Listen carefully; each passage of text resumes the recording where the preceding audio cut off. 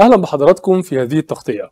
بتعتبر أزمة تغير المناخ من أكبر الأزمات اللي بيعاني منها العالم في الوقت الحالي واللي مش بس بتأثر على الحكومات والدول الاقتصاديات فقط ولكن أيضا بتؤثر سلبا وبشكل مباشر على حياة الملايين من الأشخاص وعلى عاداتهم اليومية سواء من التغذية والرفاهية.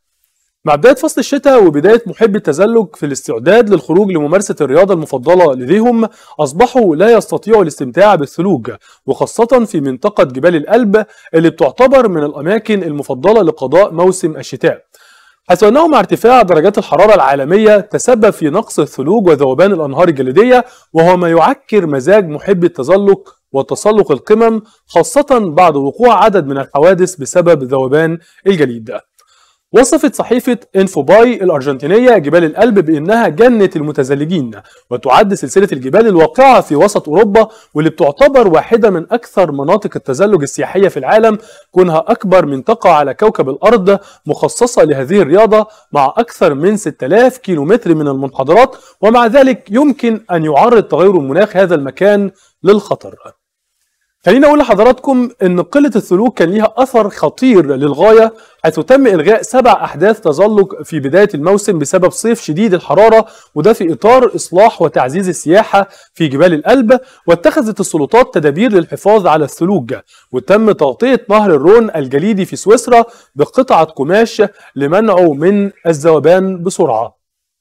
كمان منطقة أوكسفان توقعت أن تغير المناخ هيأثر على أسعار السلع الغذائية بحلول عام 2030 حيث أن أسعار محاصيل الذرة متوقع أن تزيد بنسبة 177% والقمح بنسبة 120% والأرز بنسبة 117% مع الأخذ في الاعتبار نسب التضخم.